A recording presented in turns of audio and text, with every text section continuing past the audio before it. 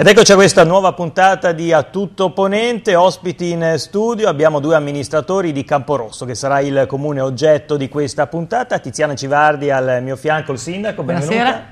E Giampiero Alberti, assessore di Camporosso. Benvenuto. Buonasera, grazie. Allora, parliamo un po' di Camporosso, di questa realtà, abbiamo diverse notizie da analizzare, ma sindaco, partiamo da una curiosità, se ne è parlato molto nei giorni scorsi, un'ordinanza molto particolare. Avete vietato l'uso dei tacchi a spillo nel parco giochi dei bimbi. Beh, può sembrare una notiziola, diciamo così, folcloristica, nella realtà non è che si è vietato l'uso del tacco a spillo, si è vietato l'uso di qualsiasi oggetto possa rovinare l'antitrauma dei nuovi giochi.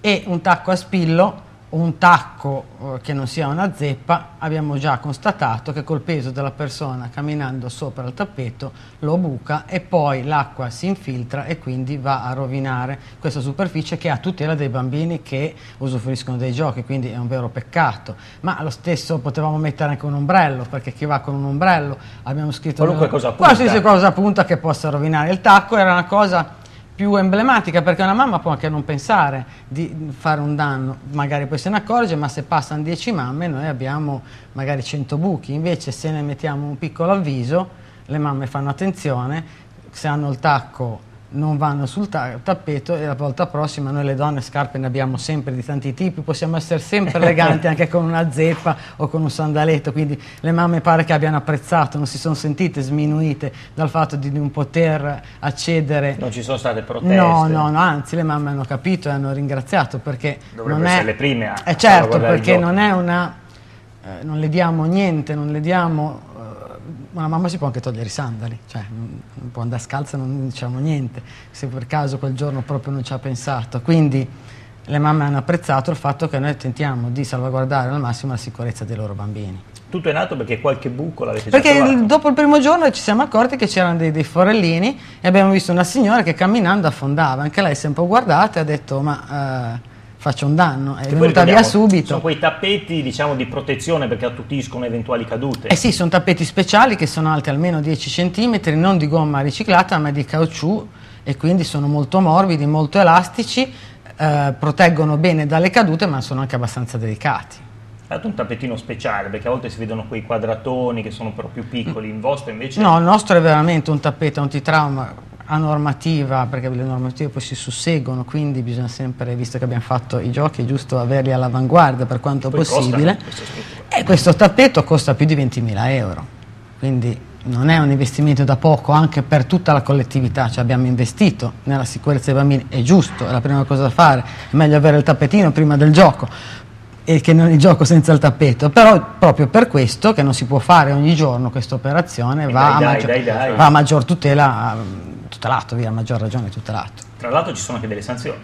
Eh, esattamente, l'ordinanza che è stata firmata dal sindaco prevede una sanzione da 25 euro a 100 euro nel caso in cui eh, si accerta un'infrazione, appunto questo calpestio con i tacchi piuttosto che l'utilizzo di oggetti contundenti come l'ombrello o altri eh, oggetti a punta che possano rovinare questo tappeto. Il sindaco ha precisato che il costo di questo, di questo tappeto antitrauma è stato ingente perché più di 20.000 euro è sicuramente una cifra importante e, bisogna anche spiegare come è stato fatto perché è curioso. Tu prima parlavi di queste mattonelle che solitamente si ah. vedono sotto i giochi dei giardini pubblici, mentre il nostro tappeto è proprio colato come il cemento, nel senso che eh, è stata fatta una base in cemento, sopra è stato colato questo materiale gommoso, il sindaco diceva, di caucciù, di caucciù e è alto più di 10 cm, ha più strati diversi perché la consistenza varia a seconda degli strati e, e l'ultima parte tra l'altro è anche simpatica perché è colorata, per cui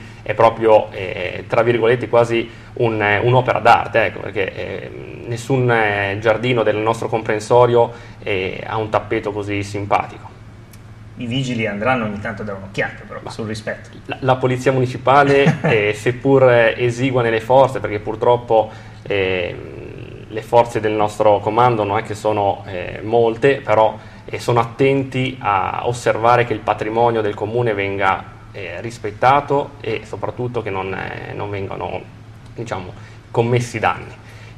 io mi auspico che non ci sia nessuna sanzione, che ci sia il buonsenso da parte delle persone a conservare il patrimonio senza dover eh, essere assoggettate a sanzioni. Dovesse esserci però chiamateci perché sarebbe, eh, sarebbe un caso nazionale. limite, limite.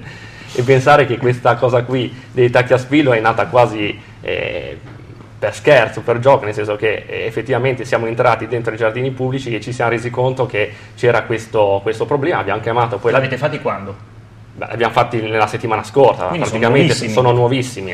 Eh, l'investimento totale è all'incirca di 50.000 euro tra tappeto antitrauma e giochi. Sono giochi eh, divisi in due settori, il settore per i bambini più piccoli, eh, diciamo fino ai tre anni, dai tre anni poco più, e poi i giochi per i bambini più grandi, dove sotto appunto c'è il tappeto, così come sotto l'altalena abbiamo messo il tappeto proprio per evitare eh, problemi in caso di caduta.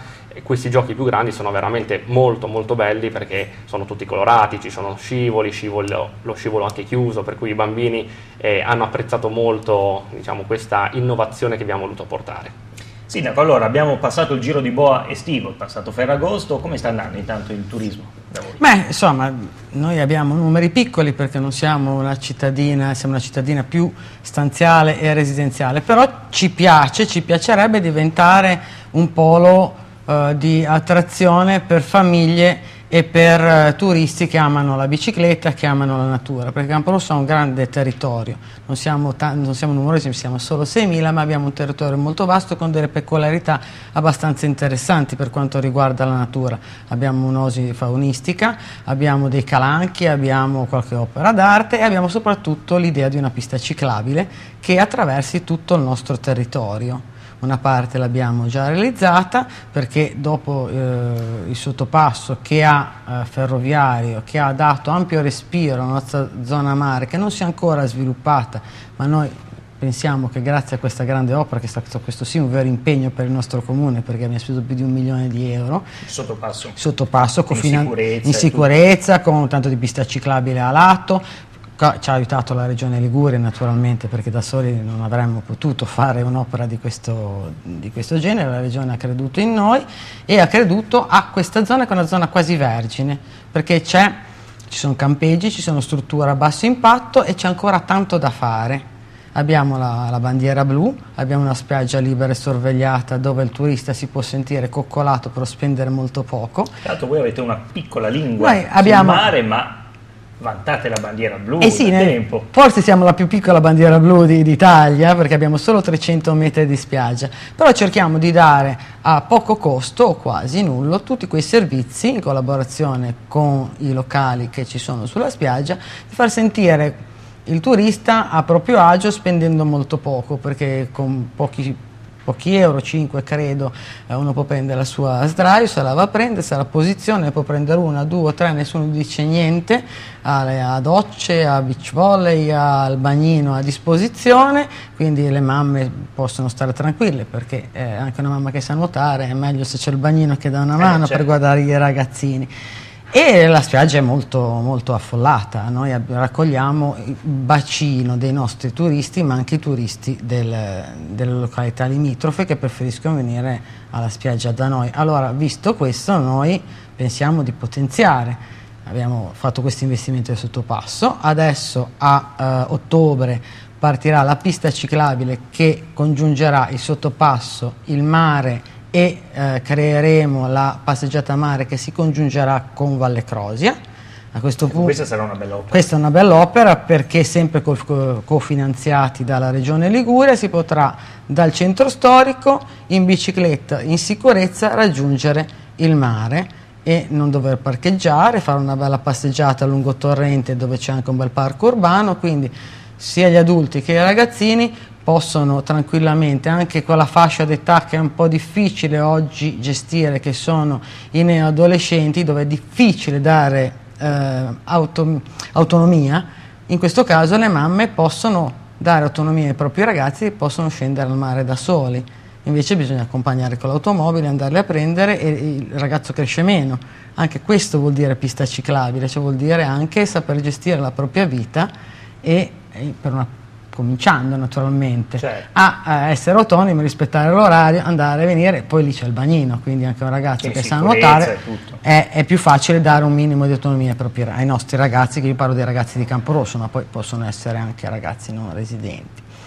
Il prossimo passo, ancora più importante, sempre con la collaborazione e il finanziamento, questa volta veramente cospicuo, della Regione Liguria che crede, io li ringrazio perché credono in Camporosso, noi siamo piccoli, non siamo una grande realtà, quindi quando qualcuno di più grande crede in noi... spesso in diverse cose, mi viene per esempio la differenziata. La differenziata, anche questo, anche questo sembra qualcosa che non c'entra niente. Uno serve per prendere la bandiera blu, perché la bandiera blu non è spiaggia pulita, acqua pulita, è senz'altro spiaggia pulita, acqua Però pulita. Ma è qualità della vita, certo. è servizi, è ambiente, è il fatto di eh, fare il porta a porta, noi facciamo il porta a porta, di incentivare i cittadini ad avere il biocomposter e fare lo sconto del 10%. Tutto questo crea una sensibilità e noi cerchiamo di captare quel tipo di turista che è sensibile a queste cose. Perché sembra facile, ma non è facile trovare una cittadina che si dedica a 360 gradi all'ambiente. Cer Bisogna anche educare i propri cittadini, non è facile. E non è facile, non è facile perché è faticoso. Come, come fate? Eh, proviamo, proviamo, eh, facciamo come fa, un, adesso mi passi il termine, un buon padre di famiglia. Cosa si fa a casa? Si spiegano le cose, non si punisce, si incentiva e si premia quando uno fa bene. Si mette in competizione eh, il familiare, nel senso che io non ti dico che sei stato cattivo, ti dico che l'altro è stato più bravo. E allora e a quel punto ti rode. ti rode e migliori senza sentirti sminuito, perché se dico che sei stato cattivo, allora dici, beh, allora non mi interessa, cattivo per cattivo non faccio nessuno sforzo. E non ti dico che sei stato cattivo, a meno che tu proprio non faccia qualcosa, qualcosa che non va. Ecco, però cerco di premiare il più possibile e di incentivare il più possibile. Eh, diamo i diplomi, citiamo le persone che sono state brave, queste cose piacciono, piacciono e sentono che lo sforzo fatto, perché è uno sforzo, perché è più risultato. facile buttare tutto, dà un risultato, in, economicamente e moralmente. Avete fatto anche un incontro sulla pista ciclabile, tornando a quell'argomento recentemente. Praticamente uno può partire da Camporosso in futuro, esatto. arrivare sulla costa e spostarsi, andare fino a Bordighiera. Esatto, allora eh, diciamo che il, la regione Liguria ha investito molto sulle piste ciclabili e ci ha aiutato molto a noi come eh, Camporosso perché è già da anni che abbiamo un tratto di pista ciclabile, abbiamo risanato completamente un'arginatura che era diventata durante il periodo dell'alluvione del 2001, non so, molti ascoltatori si ricorderanno, era diventata il deposito di detriti, di, di terra e di risulta che era stata recuperata, per cui era un'area da bonificare. Noi l'abbiamo bonificata cercando di ridare ai cittadini un percorso naturalistico perché il torrente Nervia e quando si passa lì è veramente un percorso naturalistico di eccezionale valore. Il sindaco ovviamente ha parlato dei nostri cittadini e non può fare altro, essendo il primo cittadino di eh, una comunità, però bisogna pensare anche ai turisti che vengono nel nostro territorio. Noi siamo a due passi da Sanremo, siamo a due passi da Monte Carlo, abbiamo una pista ciclabile che è invidiata in tutta Europa, se non addirittura in tutto il mondo, che è quella di Area 24 che collega eh, tutte le cittadine costiere intorno a Sanremo. Quella di Camporosso è eh, la prima entratura verso l'entroterra, perché la pista esistente che va dal mare, diciamo quasi dal mare, perché adesso dobbiamo completare quest'ultimo pezzo di cui parlava il sindaco insieme alla passeggiata con Valle Croce, però andrà dal mare fino a Dolce Acqua, cioè avremo 7 chilometri indicativamente di pista ciclabile che costeggerà il torrente sul secondo tratto, quello che è stato recentemente finanziato dalla Regione Liguria, che sono, lo ricordiamo, 690 mila euro di finanziamento che arriva dalla Regione, il Comune comparteciperà per arrivare a un progetto definitivo di 920 mila euro, per cui un progetto molto consistente, e, e si recupererà il canale irriguo, per cui daremo eh, valore, valorizzeremo anche il bene acqua pubblica, e se ne è parlato tanto negli ultimi anni con i referendum, però è bene continuare a ricordare il valore dell'acqua pubblica, per cui non utilizzare l'acqua del rubinetto per andare a irrigare i campi, ma utilizzare l'acqua del torrente, così come facevano i nostri anziani, e così come metteremo in sicurezza alcune parti di argine del torrente Nervia. Ecco, sono tutte opere che magari uno pensa eh, vanno a fare la pista ciclabile con tutti i problemi che eh, ci possono essere in questo momento, però sono queste opere strutturali che servono sia dal punto di vista turistico per invogliare e far venire qua il turista magari del nord Europa che, che apprezzano, che, molto, che apprezzano queste molto queste cose, così come ehm, recuperare un canale irriguo che è parte della storia della nostra comunità. Parlando di acqua, mi viene in mente un altro progetto importante, quello dell'acqua pubblica. Sì, allora l'acqua pubblica, l'acqua è un bene che noi pensiamo che sia infinito. In realtà stranamente l'acqua è un bene finito, quindi bisogna imparare a rispettarlo. Noi abbiamo questa grande fortuna che basta girare una levetta o alzare e, e l'acqua esce. Bisognerebbe che tutti noi facessimo una settimana come facevano i nostri nonni. Io non dico di andare a prendere tanto, ma andare alla fontana del paese, prendere un secchio e portarlo in casa. Allora se noi avessimo solo un secchio d'acqua a disposizione... E si capisce la fatica. Ci renderemo conto della fatica di portarlo su, del fatto che quest'acqua può avere più usi, perché posso lavare i piatti, innaffiare le piante, i miei nonni, io sono convinta, mi ricordo, l'acqua, quando avevo una casa in campagna che non era servita ancora dall'acquedotto, l'acqua faceva più giri, cioè, l'acqua si raccoglieva l'acqua piovana, c'era quella della fonte migliore per bere, quella più vicina, era proprio un problema l'acqua e tu ogni volta trovavi una soluzione per economizzarla e usarla al meglio, perché era preziosa, perché senza acqua si muore, cioè possiamo vivere senza anche mangiando molto poco, ma senza bere noi non possiamo vivere e questo noi non, non, non lo apprezziamo abbastanza. Quindi bisogna cercare di avere tutti quegli accorgimenti per cercare di, di sprecare meno acqua e ehm, abbassare l'uso dell'acqua depurata per usi che non sono quelli potabili. Allora, Diversificare. Certo, perché innaffiare eh, i campi con l'acqua clorata a parte che fa malissimo alle piante, quindi non è utile, però è uno spreco, eh, non va bene. Bisogna cercare di recuperare tutta l'acqua che, che, si può. E il canale irriguo è una risorsa importantissima. È una traccia storica perché faceva andare tantissimi mulini che adesso non ci sono più, però noi avevamo una decina di frantoi il paese viveva, era ricco Camporosso perché viveva grazie a questa traccia d'acqua. Lì c'è il Rio Seburin, portava l'acqua a Ventimiglia, al Ventimilium, la captavano a Camporosso l'acqua. Quindi il cittadino di Camporosso a maggior ragione deve avere una sensibilità alta nei confronti dell'acqua perché ha più strumenti degli altri per accorgersi dell'importanza dell'acqua perché basta osservare, basta osservare il lavoro che l'uomo ha fatto per le Canarie Riguo, certo. basta osservare il vecchio eh, acquedotto romano. Allora l'acqua non posso, posso sembrare battaglie politiche quelle di dire che l'acqua deve essere di tutti, è quasi demagogico, ma è vero, l'acqua è di tutti. Qualcuno mi ha detto, ma si apre il rubinetto qua, in Africa mica se ne accorgono. Ma il discorso di educazione che facevamo prima per sì, la differenziale. è una cosa culturale. È una questione culturale, è una questione culturale. E i distributori? Ed è per questo, in tutto questo, ci sta anche il distributore dell'acqua gasata che, uno, eliminiamo la plastica, che questo sarebbe già sufficiente.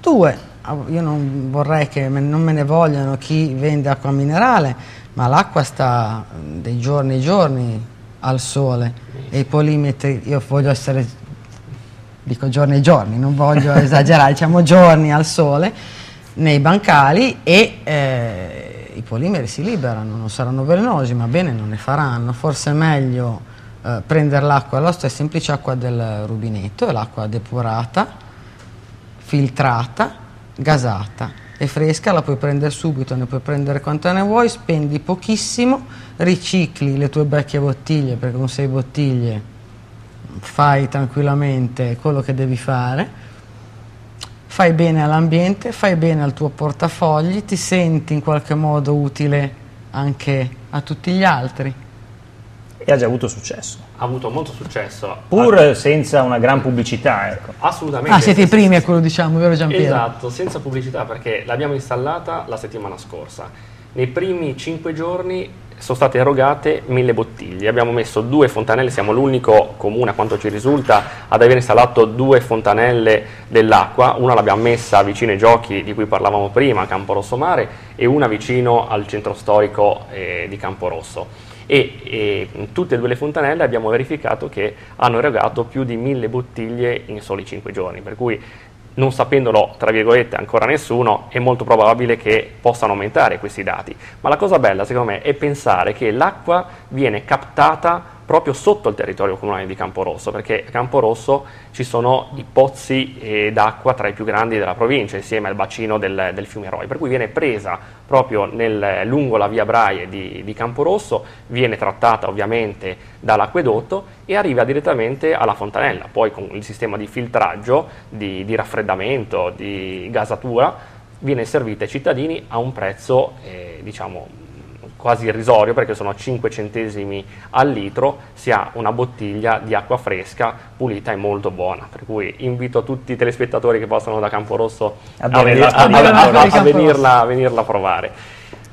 Tocchiamo l'argomento polizia municipale perché nelle scorse settimane ne avevamo anche parlato nei telegiornali c'è stata una firma, un accordo importante che può aprire nuovi scenari, lo ricordiamo un attimo. Io sono diciamo, l'operaio che ha cercato di mettere su eh, questa, questo piano di collaborazione. L'anno scorso qui in trasmissione ne abbiamo parlato, abbiamo fatto una trasmissione grazie a te Federico a Imperia TV dedicata a questo argomento e sono molto contento di essere qui oggi a riparlarne. Il sindaco che è qui vicino a me ha eh, ovviamente chiamato a raccolta i sindaci dei due comuni limitrofi, Ventimiglia e Valle Crosia, e si è proceduto nelle scorse settimane alla sottoscrizione ufficiale di questo piano di collaborazione tra le polizie municipali. Bisogna tenere presente alcune cose. Innanzitutto eh, le difficoltà da parte dei comuni ad avere del personale operante sul territorio, perché tutti i limiti imposti dal governo centrale non permettono ai comuni di avere disponibilità di personale, di agenti di polizia municipale e non si possono fare assunzioni. Di conseguenza bisogna cercare di collaborare ancora di più rispetto a quello che si faceva prima. Quando uno ha le forze può anche fare tutto da solo, quando le forze iniziano a mancare è bene iniziare a mettere assieme eh, le energie. Seconda cosa, punto fondamentale, noi abbiamo un'unica strada, perché da noi non esiste ancora l'Aurelia bis e poi vorrei anche soffermarmi su questo argomento. Non esiste una strada alternativa all'Aurelia e molto spesso si creano dei problemi seri di viabilità. Succede un incidente sul cavalcavia di Ventimiglia, si blocca tutta si la viabilità tutto. fino a Bordighera, così come si blocca tutto il centro di Ventimiglia Ecco, cosa prevede questo piano di collaborazione che abbiamo voluto e voglio anche ringraziare pubblicamente il commissario di Ventimiglia, il dottor Aversa, che eh, sta portando avanti le sorti del comune di Ventimiglia ah. insieme ad altri suoi colleghi, però lui si è eh, impegnato molto per questo, per questo, piano di collaborazione e poi, poi dicevo, eh, abbiamo voluto ehm, mandare i nostri operatori da un comune all'altro. L'attuale legge della polizia municipale non permetteva cioè, agli operatori, esatto, bisognava fermarsi, non si poteva andare oltre se non per eh, accertare, diciamo, per eh, accertare un'infrazione che è stata commessa sul proprio territorio, per cui una macchina che non si ferma al posto di blocco puoi andare oltre il confine comunale e fermarla. Ecco. Mentre con questo piano di collaborazione ci si può muovere da un comune all'altro, ovviamente ci si può muovere previo contatto tra i responsabili dei, dei, vari comandi, per cui i comandanti si sentiranno anche solamente telefonicamente, per cui con una procedura molto semplice, però ci potrà essere questo passaggio da un comune all'altro. La procedura per arrivare a questa sottoscrizione ufficiale non è stata semplicissima, perché?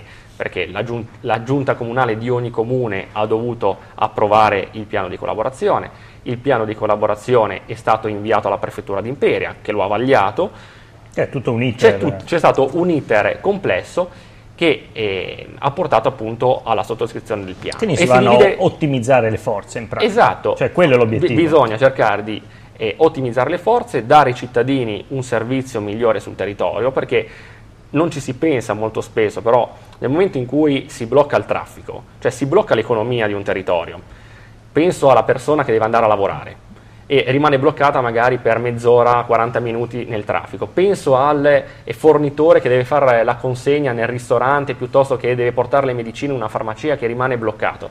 Cioè, noi molto spesso non ci rendiamo magari conto di quelle che possono essere le conseguenze, le certo. conseguenze però si blocca l'economia e si crea un danno forte all'economia, per cui è anche eh, un modo per eh, cercare di dare una risposta di questo tipo.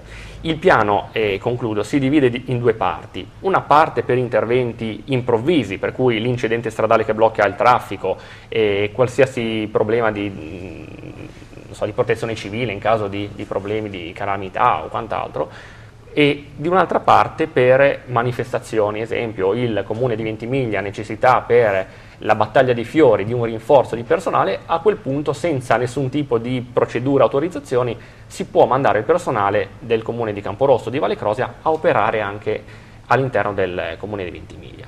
Io per il futuro cosa mi auspico? Mi auspico che questa collaborazione diventi più stabile, perché oggi è una collaborazione intercomunale sperimentale, durerà da quest'estate fino alla fine dell'anno, per cui io mi auspico che eh, con l'anno prossimo possa assumere una stabilità e possa coinvolgere, esatto, e possa coinvolgere, mm. anche altri comuni costieri, il comune di Bordighera e il comune di Ospedaletti. Io eh, proprio questa mattina ho avuto un incontro con il sindaco di Bordighera al quale ho parlato della possibilità di inserire anche Bordighera all'interno di questo progetto, così come ho già parlato a lungo nei, negli anni scorsi perché il progetto, il lavoro che ci sta dietro è un lavoro lungo, ho già parlato anche con il sindaco di Ospedaletti che si era reso disponibile a entrare a far parte anche lui di questo progetto, di questo progetto però bisogna dare continuità territoriale, non possiamo mettere tre, comuni, buco, certo. saltare, saltarne uno e poi mettere ehm, l'altro. Ecco,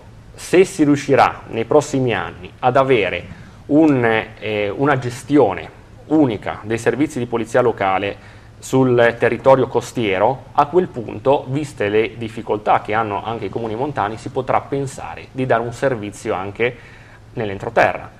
Quando magari nell'entroterra c'è la manifestazione, come possono essere i fuochi di dolce acqua, che richiamano un, eh, una marea di, di persone. Ecco adesso io penso a manifestazioni stabili, così come a servizi che non possono magari permettersi altri comunelli ancora più dell'entroterra, come possono essere Castelvittorio o Seborga, certo, che hanno necessità esatto, di avere magari l'agente di polizia municipale una volta anche solo la settimana. Ecco, dobbiamo pensare in prospettiva e cercare di far sì che la pubblica amministrazione nel 2013, ormai io penso al 2015, si, eh, sia qualcosa di compatto, lavori assieme, si cerchino di ridurre le spese per dare un miglior servizio ai cittadini. È chiaro che mettere assieme le forze vuol dire cercare di ridurre i costi di gestione per dare ai cittadini un servizio migliore.